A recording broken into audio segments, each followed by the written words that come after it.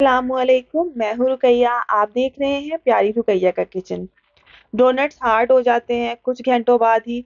Donut सही से rice नहीं होते प्रॉपर बेक नहीं होते प्रॉपर फ्राई नहीं होते। कितने महीनों तक इसको फ्रीज कर सकते हैं और किस तरीके से हम इसको सर्व कर सकते हैं? मैं जो रेसिपीज़ आपके साथ शेयर करती हूँ वो मैं आपके साथ शेयर करती हूँ, जो मैं होम बिज़नेस करती हूँ। मेरे बिज़नेस की रेसिपीज़ हैं, जो मैं आप लोगों के साथ शेयर करती हूँ। परफेक्ट रेसिपीज़ होती हैं, छोटे से छोटा पॉइंट कोशिश करती हूँ प्रॉपर क्लियर किया जाए, चाहे मैं बहुत ज़्यादा बोलूँ, लेकिन मैं क्लियर कर देती हूँ। तो यहाँ पर मैं आज बना रही हूँ बेक डोनट जिनको आप फ्रीज भी कर सकते हैं, आप फ्राई डोनट को भी फ्रीज कर सकते हैं। कितने प्रूफ करने हैं, यहाँ पर आप जाल चेक करें, कितना ज़बरदस्त जाल है। इतना अच्छा जाल कैसे आया है? क्योंकि हमने इसको परफेक्ट प्रूफ किया है। प्रूफ करने के बाद ही फ्राई करते हैं और प्रूफ करने के बाद ही बेक करते हैं। अब कितना प्रूफ करना होता है ना, वहाँ पे बच्चियाँ कर रही होती है मिस्टेक मेरे से भी बहुत मिस्टेक होती थी।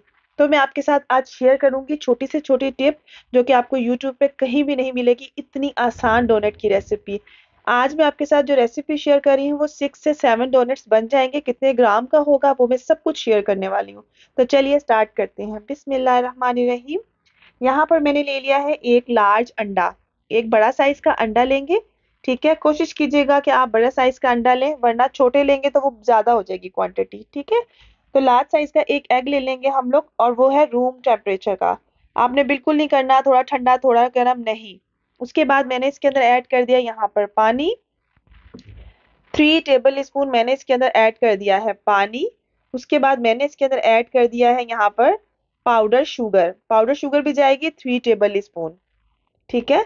और हमने इनको बहुत अच्छे से कर देना है मिक्स अच्छा छोटे बाउल में मिक्स कर रही थी लेकिन वो ठीक से मिक्स नहीं हो रहा था तो इसलिए जो है ना मैंने सोचा कि यहाँ पर जो है ना बड़े आ, कप में डाल लेती हूँ। तो इसलिए मैंने यहाँ पर बड़े कप में ले लिया था।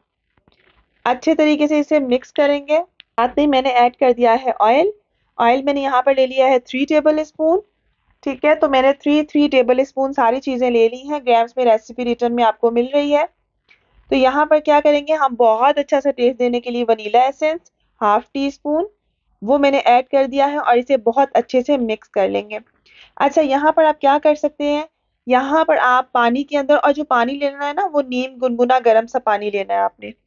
तो यहाँ पर जो है ना, मैंने डाल दिया है मैदा मैदा मैंने ले लिया है 270 ग्राम, ठीक है, दो कप्स ले लेंगे, उसके बाद थ्री टेबल स्पून मजीद ले लेंगे। ठीक है? उसके बाद मैं थ्री टेबल स्पून इसके अंदर ऐड कर दूँगी यहाँ पर मिल्क पाउडर का। मिल्क पाउडर आप लोग कम और ज़्यादा कर सकते हैं। उसके बाद मैं सॉल्ट ऐड कर दूँगी। हाफ़ टी स्पून तक इसमें सॉल्ट चला जाएगा और साथ में मैं ऐड कर रही हूँ ईस्ट अच्छा यहाँ पर टू टी स्पून तक ईस्ट लेनी है। अगर सर्दियाँ हैं तो ईस्ट इस तरह से जल्दी एक्टिव नहीं होती है। तो आपने क्या करना है? आपने यहाँ पर लेना है वन कप पानी और वन कप लेना है, ठीक है?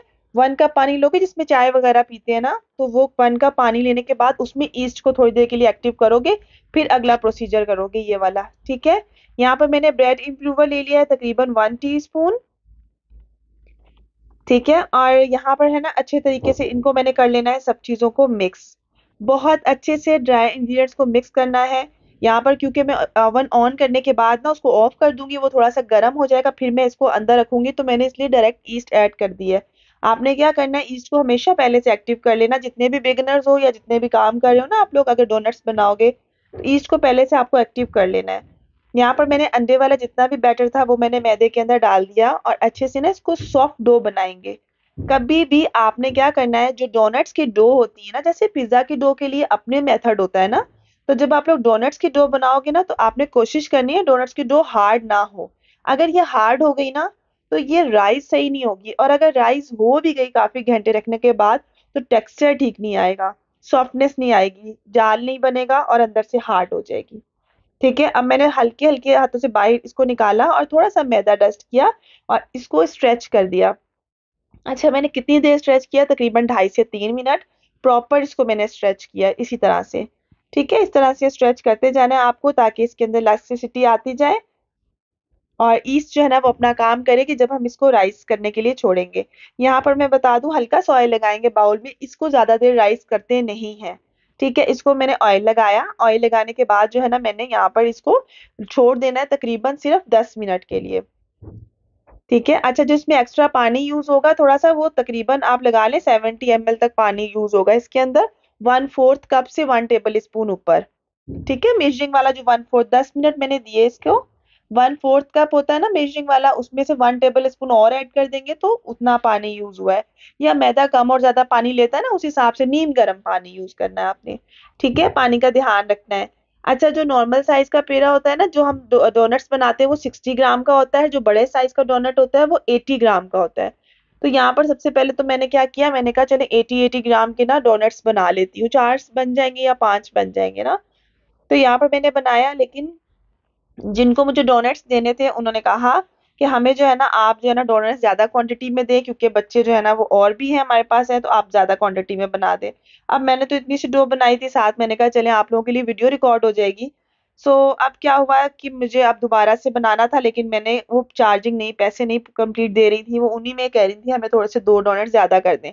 फिर मैंने वही क्या किया उसी डोनट्स के अंदर से थोड़ा थोड़ा सा निकाला और मैंने जो है ना इसको तकरीबन एक डोनट ज़्यादा कर दिया था। ठीक है? तो आप लोग इस तरह से मतलब मैंने इसको जो है ना, तकरीबन 65 ग्राम का एक पेड़ा कर दिया था। ठीक है? ना वो छोटा था, ना वो बड़ा था, वो दरमियाना साइज़ का था। ठीक है? अब यहाँ पे कोई भी मोले लोगे, इसे आपने ना ग्रीस नहीं करना, इस पे आपने डस्टिंग करनी है मैदे की। ठीक है? डस्टिंग कर लोगे मैदे की और उसके बाद हम लोग अब इसके अंदर रखकर सारे डोनट्स को हल्का सा प्रेस करेंगे और इसको हम प्रूफ होने के लिए पंद्रह मिनट के लिए छोड़ देंगे। पंद्रह मिनट छोड़ने के बाद अब क्या करना है? आप डोनट कटर भी ले सकते हो। आप नॉर्मल कोई भी ढक्कन वगैरह होता है ना बॉटल का, आप उससे इसको होल भी कर सकते हो। अगर आपको नहीं समझ आ रहा ना तो मैंने डिस्क्रिप्शन में वीडियो का लिंक दे दूँगी। आप लोग वो वीडियो भी देख लें। बहुत पसंद आ रही है सबको। अलहमदिल्ला बहुत लोगों ने ट्राई की है और बहुत सारी दुआएँ दी हैं। मेरे पास ये डोनट कटर है ना, इससे बहुत जल्दी से हो जाता है तो मैंने क्या किया, इसे फ़ौरन से शेप दे दी थी डोनट की। अच्छा डोनट कटर जब भी यूज़ करना है, आपने ये ख्याल रखना है कि डोनट कटर को ना मैदे में डिप करोगे, उसके बाद कटिंग करोगे। इससे ना शेप बिल्कुल लूज नहीं होती है, बहुत ज़बरदस्त और परफेक्ट रहती है। तो अगर आपके पास डोनट कटर नहीं है तो कोई इशू नहीं है, मैंने वो वीडियो में आपको बगैर डोनट कटर के भी बताया हुआ है। जो साइड इसकी रह जाएँगी ना, वो फिर मैं एक राउंड वाला पेड़ा भी आपको करके दिखाऊँगी, जो कि मैंने कहा था एक्स्ट्रा हो जाएगा, मैं तोड़कर आपको दिखा दूँगी ना। तो इसलिए जो है ना मैं तोड़कर जो दिखाऊँगी वो एक्स्ट्रा मैंने इसी में से निकाला हुआ है, ठीक है?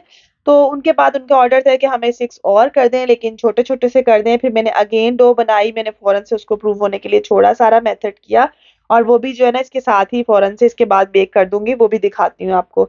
अच्छा वो सिर्फ़ छोटे छोटे से चाहिए थे, मैंने उसमें होल वगैरह नहीं किए थे, ठीक है? और उसके ऊपर मैंने जस्ट स्प्रिंकल करनी थी शुगर को, उसमें चॉकलेट को कुछ भी कोटिंग नहीं करनी थी। अच्छा यहाँ पर मैंने पंद्रह मिनट अगेन छोड़ दिया, उसके बाद मैंने एक अंडा लिया, पूरा अंडा है।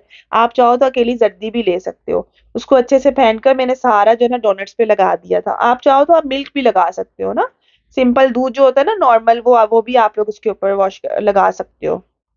यहाँ पर मैंने एक पूरा अंडा लेके लगा दिया। अच्छा अवन को मैंने प्री हीट किया हुआ था 180 पर, ठीक है? और मैं इसे 170 पर बेक किया है, तकरीबन। ये तकरीबन लगे इसको 15 से 16 मिनट। ठीक है तो यहाँ मैंने सेंटर वाली उस पर रख कर तो मैंने इसको बेक कर लिया और ये माशाल्लाह से बहुत अच्छा कलर आ गया था। सो मुझे अगर थोड़ा सा कलर कम भी लगे ना तो मैं इसको उठाकर दूसरी वाली शेल्फ पे रख देती हूँ, इसी तरीके से। अब मुझे हल्का सा कलर चाहिए, यहाँ पर तकरीबन चौदह मिनट हो चुके थे। तो मुझे था कि बहुत प्यारा सा कलर जल्दी से आ जाएगा तो यहाँ पर मैंने ऊपर वाली रॉड के ऊपर रख दिया था। रॉड जो है ना, वो दोनों ही मेरी ऑन थी, मैंने ऑन की हुई थी। क्योंकि जब भी पिज़्ज़ा बेक करें और या डोनट वगैरह तो दोनों रॉड ऑन होनी चाहिए ताकि प्रॉपर बेक हो आ, हो सके। क्योंकि ये जल्दी हो जाता है पंद्रह मिनट में तो ये देखिए माशाल्लाह माशाल्लाह से अल्हम्दुलिल्लाह कितना ज़बरदस्त जो है ना इसका कलर आ चुका है। तो यहाँ पर मैं आपको दिखा दूँ। यहाँ पर ये देख लें माशाल्लाह माशाल्लाह कितने ज़बरदस्त डोनट लग रहे हैं। अच्छा इनको आप लोग अच्छा फ्राई करने के लिए जो डोनट है उसकी रेसिपी का लिंक आपको डिस्क्रिप्शन बॉक्स में मिल जाएगा। अच्छा अब क्या करना है? इसको ना अगर आप लोग ज़्यादा देर के लिए प्रूफ करने के लिए छोड़ देते हो ना डोनट को मतलब बहुत ज़्यादा ज़्यादा टाइम हो जाता है तो डोनट कभी भी सही नहीं बनते और फ्राई करो या फिर आप इसको बेक करो, ये हार्ड हो जाते हैं। अब जैसे मैंने निकाला था ना तो ऊपर कपड़ा देके या कोई भी पेपर शॉपर देके ना, आपने इसको पंद्रह मिनट के लिए, आधे घंटे के लिए भूल जाना है इसको। ये काम आपने ज़रूर से करना है। ये ऑयल बेस्ड कलर है मेरे पास और एक ही मेरे पास लिक्विड कलर है। व्हाइट चॉकलेट के अंदर आप कोई सा भी कलर डाल सकते हैं। मैं तो लिक्विड भी डाल देती हूँ जेल भी डाल देती हूँ और ऑयल बेस्ड कलर भी मेरे पास अवेलेबल होते हैं तो मैं वो भी डाल देती हूँ। तो मुझे सिर्फ़ एक पिंक कलर का उन्होंने कहा था डोनट पे सिर्फ़ पिंक कलर कर देना। तो मैं सिर्फ़ एक वही ले रही हूँ पिंक बाकी सब जो है ना, मैं थोड़ा थोड़ा सा ना इसको निकाल रही हूँ पाइपिंग बैग में कि ऊपर से टॉपिंग करने के लिए। तो यहाँ पर ये दूसरे वाले भी फ़ौरन से मैंने बेक कर लिए थे, उन पे ज़रा अच्छा सा कलर दिया था क्योंकि उनको मैंने चॉकलेट नहीं लगानी थी ना। सो उसके ऊपर सिर्फ़ मैंने शुगर डस्ट करनी थी। उसको भी मैंने कवर करके रख दिया। सब, और ये दोनों चॉकलेट्स हैं। ये मिल्क डार्क चॉकलेट है, इसको मैंने ऑयल डाला था इसके अंदर। 100 ग्राम चॉकलेट ली या 150 ग्राम ले लें। उसके अंदर one tablespoon oil add करके मैंने डाल दिया था। अच्छा ऑयल ज़्यादा इसलिए ऐड किया था कि एक तो शाइन इतनी को क्यूट मज़े की शाइन आती है ना देखने में। और जब ये हार्ड हो जाएगी ना तो भी इसके ऊपर शाइन रहती है। तो आपने थोड़ा सा ज़्यादा ऑयल डाल के इसको ना डबल बॉयलर पर मेल्ट कर लो या अवन में मेल्ट कर लो। सिंपल ठीक है? और जो वाइट चॉकलेट को भी मैंने सिंपल रखा था। अच्छा वाइट चॉकलेट चूँकि मेरे पास ख़त्म हुई हुई थी, अभी मेरे पास रिसीव नहीं हुई है, मैंने ऑर्डर किया हुआ है तो इसको मैंने थोड़ी सी जो बची थी, मैंने उसी के अंदर फटाफट पिंक कलर ऐड किया और हल्का इसके अंदर भी मैंने ऑयल डाला था। तो इसमें मैंने एक डोनट ही चाहिए था तो मैंने उतनी सी निकाली और उतनी सी इसके ऊपर कर दिया था। ठीक है? सो ये थोड़ी सी जल्दी ठंडी हो रही थी और मुझे वीडियो भी बनानी थी और मुझे भेजने भी थे तो बहुत ज़्यादा ना मुझे जल्दबाजी हुई हुई थी कि जल्दी जल्दी कर लूँ सब कुछ। लेकिन आपको एक परफेक्ट और बिल्कुल एग्जैक्ट रेसिपी मिल जाए, मैं कोई भी पॉइंट मिस ना करूँ तो यहाँ पे आप लोग इस तरह से टॉपिंग पे किसी तरीके से भी वाइट के ऊपर डार्क चॉकलेट का लगा लो डार्क चॉकलेट पे वाइट चॉकलेट का लगा लो, इस तरह से आप लोग कर सकते हो। अच्छा यहाँ पर फ्रीज करने का बताऊँ, जैसे ही डोनट्स आपके बेक हो गए ना, आप रूम टेम्परेचर पे आके ठंडे हो जाएँगे ना, फिर आप इसको फ्रीज कर लो। लेकिन चॉकलेट वगैरह कुछ नहीं लगानी आपने उसके ऊपर, जैसे पीछे सिंपल से पड़े हुए हैं ना उस तरह से करके फ्रीज कर लो। जब आपको निकाल के सर्व करना है ना या बच्चों को देना है तो आपने माइक्रोवेव कर लेना है। एक मिनट के लिए माइक्रोवेव कर लोगे, वो सॉफ्ट हो जाएँगे। उसके बाद आप उसके ऊपर चॉकलेट लगा सकते हो। ठीक है? और आप लोग इसको इजीली फ्रीज कर सकते हो। महीने तक फ्रीज कर लो, कुछ भी नहीं होता है। पिज्जा की डो फ्रीज कर लो, कुछ भी नहीं होता है। पिज्जे की डो को भी फ्रीज कर सकते हैं। तो इसी तरह इसको भी फ्रीज कर सकते हैं, कोई इशू नहीं है। और अगर आप लोग इसको रखेंगे फ्रिज के अंदर तो फ्रिज में एयर टाइट जार हो, ठीक है? एयर टाइट जार में रखेंगे। तो आप लोग उसको भी सर्व करोगे, निकालोगे और ओवन माइक्रोवेव कर लोगे। आई होप ये रेसिपी आप लोगों को पसंद आएगी। पूरी कोशिश थी कि मैं एक डिटेल रेसिपी आप लोगों के साथ शेयर कर सकूँ। आप लोग इसे होम बिज़नेस के तौर पर ज़रूर से इस्तेमाल कर सकते हैं। इस रेसिपी को ज़रूर से यूज़ कर सकते हैं। मिलते हैं एक न्यू रेसिपी के साथ। अल्लाह हाफिज़।